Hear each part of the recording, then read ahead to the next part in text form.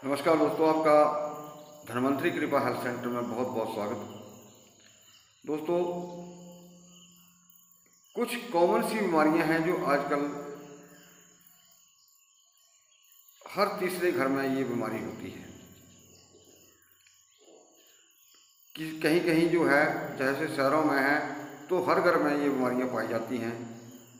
Cervical हो गया slip disc हो गई थायराइड हो गया शुगर हो गया साइटिका हो गई गैस प्रॉब्लम हो गई बीपी हो गया तो कुछ बहुत सारी ऐसी बीमारियाँ हैं जो कॉमन हो चुकी हैं कि हर आपको दूसरे, तीसरे घर में बीमारियाँ मिलेंगी, जैसे कि थायराइड हो गया। और ये विशेष वीडियो मेरा दोस्तों थायराइड के ऊपर है।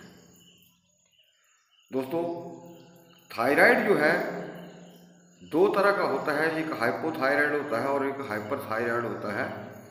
हाइपोथायराइड में क्या होता है कि जो हमारा थायरॉक्सिन हार्मोन है, जो तो थायराइड ग्लैंड स्क्रीड करता है, जो यहाँ गले में होता है तो होता क्या है कि जब वो थायराइड की ग्लैंड है, वो जब थायरॉक्सिन हार्मोन जो है, वो कम छोड़ता है, कम स्क्रीड करता है तो हाइपोथायराइड की प्रॉब्लम होती है।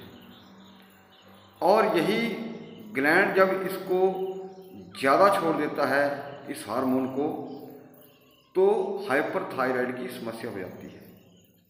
हाइपोथायराइड में क्या होता है? आदमी मोटा हो जाता है और हड्डियाँ कमज़ोर हो जाती हैं, बॉडी में पेन रहना शुरू हो जाता है। कई बार बीपी हाई रहता है, कई बार डाउन चला जाता है या कई बार आदमी को घबराहट महसूस होती है, बेचैनी महसूस होती है। ये हाइपोथायराइड के मुख्य मुख्य जो रीज़न है वो बता रहा हूँ मैं। दूसरे नंबर पर आता है दोस्तों हाइपरथायराइड हाइपरथायराइड क्या होता है? इसमें व्यक्ति को वीकनेस होती है हल्का हल्का बुखार भी रहता है, आँखें बाहर को आ जाती हैं, वज़न कम होता जाता है, या कुछ लोगों में वज़न कम नहीं होता है, लेकिन जैसे हल्का बुखार या आँखें बाहर को आ जाती हैं, इसको हाइपरथायराइड बोलते हैं। अब दोस्तों ये जो एलोपैथी के डॉक्टर हैं, ये एलोपैथी के अनुसार जो अंतःस्रावी ग्रंथियाँ जैसे कोई भी ग्लैंड हार्मोन्स क्रिएट करता है, एलोपैथी के अंदर इसका इनका कोई इलाज नहीं होता।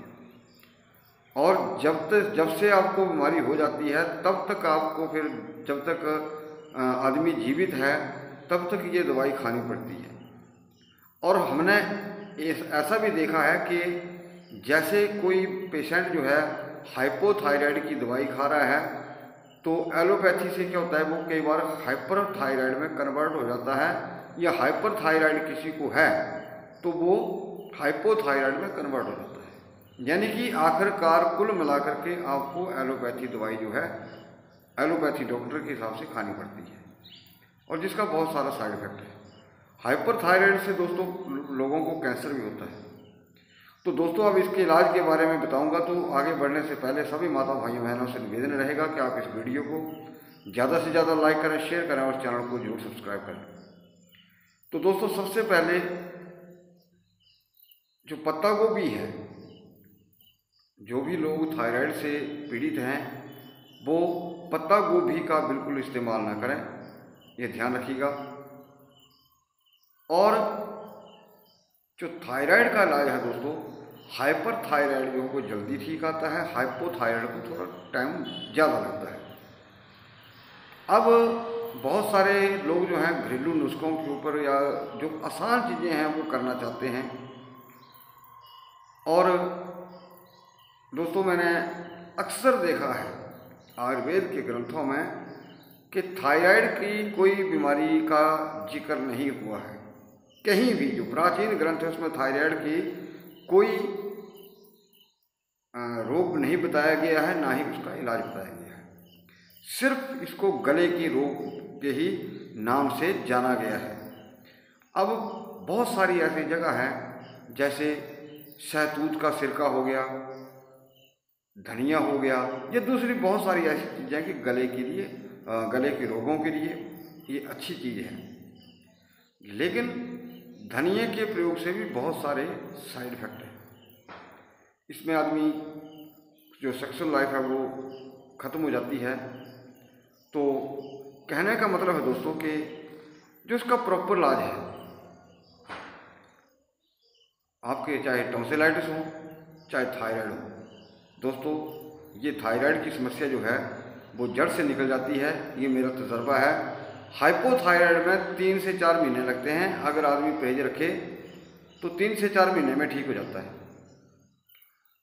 और हाइपोथायराइड को थोड़ा टाइम लग जाता है। यानी कि रोगी की उम्र जो है, वो भी इसमें मैटर रखती है। रोग कितना पुराना है, ये भी चीज़ मैटर रखती है। तो दोस्तों, अब मैं इलाज के बारे में बताऊँगा। नंबर वन दोस्तों, इसमें क्या होता है कि जो जंगलों में जंगली हरड़ होती है हरड़ का पेड़ होता है, जैसे बहुत सारी आप नर्सरी में जाएँगे, वो हाई ब्रिडेड जो है, वो हरड़ के पेड़ होते हैं, वो उसका इतना वो इफ़ेक्टिव नहीं पाई जाती। जिस तरह से आजकल हाइब्रिड के अनाज हैं, फल फ्रूट हैं, वो उसका साइड इफ़ेक्ट है दोस्तों, लेकिन जो अपने आप पर कुदरती तौर पर चीज़ उत्पन्न हुई है, उसका जो इफ़ेक्ट है, वो बहुत ज़्यादा होता है। और जो मौसम के अनुसार ही चीज़ काम करती है। तो दोस्तों, सबसे पहले आपको क्या करना है? हरड़ के पेड़ का छिलका लाना है, हरड़ का फल नहीं लाना है, और उसको आपने, उसको सुखाना है। और सुखा करके उसका मोटा मोटा चूरा करना है। बारीक पाउडर नहीं पीसना है। और फिर कम से कम एक छोटा चम्मच आप उसमें पानी में डाल करके आप एक गिलास पानी में डालिए उसको और उसको अच्छी तरह जितना चाय को बॉयल करते हैं, जितनी देर चाय को बॉयल करते हैं, चाय पत्ती को, उतनी देर उसको बॉयल करें और उसको छान लें। छानने के उपरांत दोस्तों उसके अंदर एक चम्मच जो अच्छी क्वालिटी वाला शहद होता है, वो डाल दीजिए और उसको फिर चाय की तरह सिप सिप करके पीजिए। दूसरा जो इसका और, एक और जो साथ में इलाज चलता है, क्योंकि ये ऑटोम्यून डिज़ीज़ है तो उस ऑटोम्यून जो ऑटोम्यूनिटी को कैसे आप ठीक करेंगे, वो सीधी चले तो उसके लिए दोस्तों, जो गिलोय का एक प्योर घन सत्व बनता है, वो चलता है। लेकिन दोस्तों, ये आपको मार्केट में कहीं चीज़ नहीं मिलेगी। यह आपको खुद ही तैयार करना होता है। इसकी प्रक्रिया थोड़ी टफ है लेकिन अगर आप इसको करते हैं दोस्तों तो निश्चित तौर पर आपको थायराइड में फ़ायदा होगा।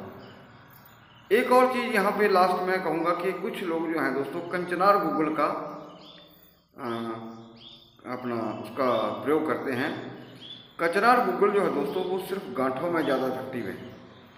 और जो कचनार पेड़ की छाल है दोस्तों, वो आयुर्वेद के अनुसार सबसे ज़्यादा जो इफ़ेक्टिव है, वो है मुँह के छालों के लिए।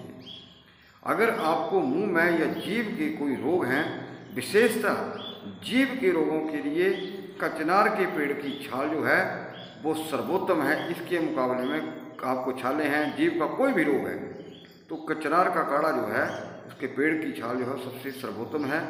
और गले के लिए दोस्तों, ये जो मैंने बताया आपको, हर्ड का और गिलोय का, इसके बराबर दूसरी कोई औषधि नहीं है, जो मेरा आज तक का तजर्बा है। मेरी उम्र 49 हो चुकी है। मैं लगभग 20-25 सालों से इन चीज़ों के ऊपर कार्य कर रहा हूँ। तो दोस्तों, कुछ ना कुछ तो तजर्बा ही होगा मुझे भी। तो दोस्तों, मेरा नाम वैद्या सोनी कुमार है। मैं हिमाचल प्रदेश से हूँ, हमीरपुर डिस्ट्रिक्ट से। मैं चाहूँगा कि आप इस वीडियो को ज़्यादा से ज़्यादा लाइक करें, शेयर करें और चैनल को भी ज़रूर सब्सक्राइब करें। वीडियो को देखने के लिए बहुत बहुत धन्यवाद। नमस्कार।